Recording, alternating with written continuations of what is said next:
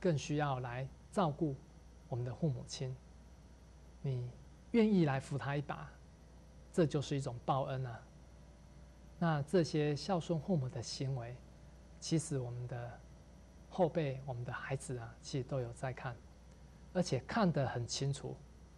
如果今天我们不孝顺自己的父母亲，父母亲老了啊，你不尊敬，不孝敬他，以后等我们老的时候啊，孩子啊一样是这样的来看待我们，这就是所谓的一种因果循环的道理。那在曾经在我们四川大地震的时候啊，哈，那救难人员啊，哈，在挖掘，哦，在挖掘的时候啊，哈，挖掘到了一位母亲。那时候母亲呢，正蜷曲的这个身体呀，那个姿势呢，就好像在行那个跪拜的一种姿势，但是他的身体啊，已经被重物呢压的已经变了形状。可是这些救援员突然呢，就发现说，哎，他的身子底下竟然传来有这个婴儿的一种哭声。原来啊，妈妈她以用自己的身体呢，保护这个婴儿啊，逃过一劫。那这时候呢，救援员又从这妈妈哎，发现她里面的一个手机啊，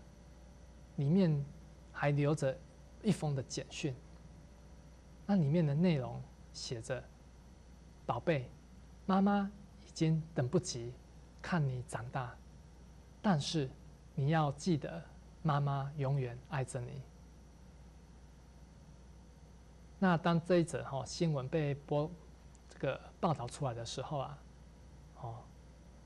相信啊哈在场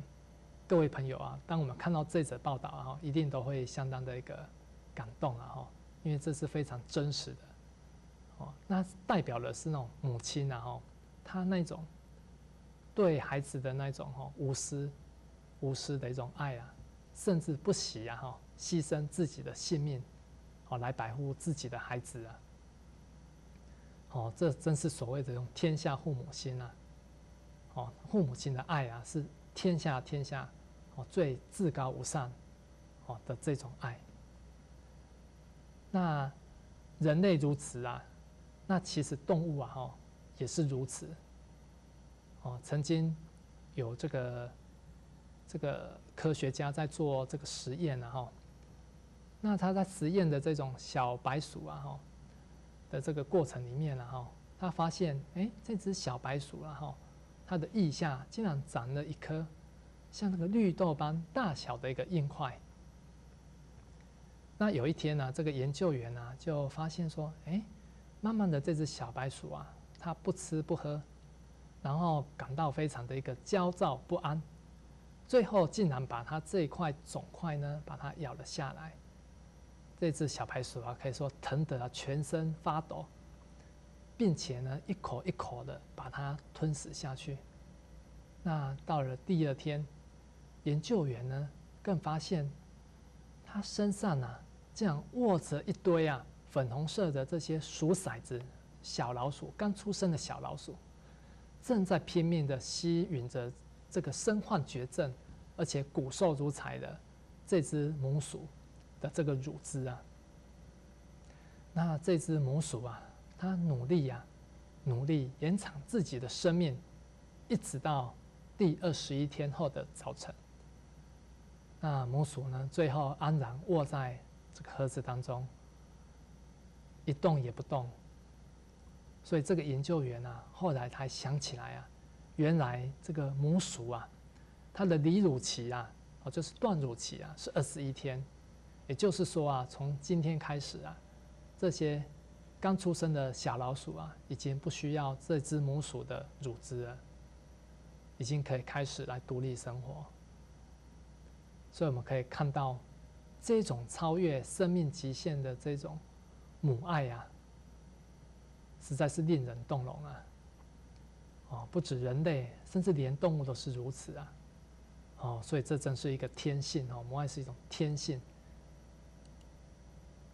再来，我们好来看看说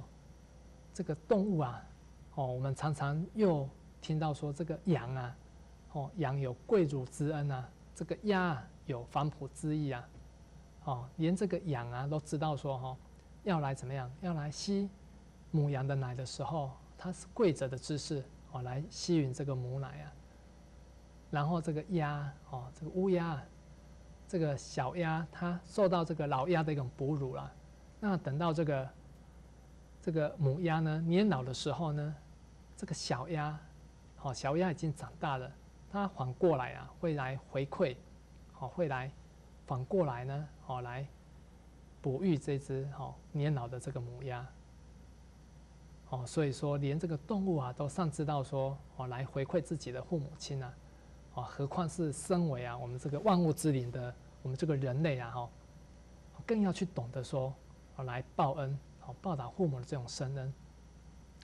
那在白居易啊，哈，他里面曾经哦写了一首这个慈屋夜体的诗啊，哈，那里面也是很感人啊，哈，哦，他说这个慈屋思其母，那丫丫吐哀音，昼夜不飞去，今年守故林。夜夜夜半啼，闻则为沾巾。声中如泣诉，未尽反哺心。百鸟起无母，耳独哀怨声。因是母慈重，失而悲不仁。昔有无妻者，母莫三不临。皆在师徒辈，其心不如情啊！慈屋护慈屋。鸟众之真声啊，那里面诗里面呢特别提到说，连这个乌鸦，他都懂得怎么样哦来思念哦他的这个母鸭哦他的这个母亲啊，动物啊它尚且啊哈知道说要来回报这个父母的这种恩情啊，那母亲过世了呢，它依然怎么样，依然的那种哀思，尽它的这种哀思啊，哦非常的这种。痛苦啊，哦，好像失去了一个很大的依靠。那我们人类里面呢，哦，有些啊，反而不如这种乌鸦，哦，比如说我们古代有一位吴起啊，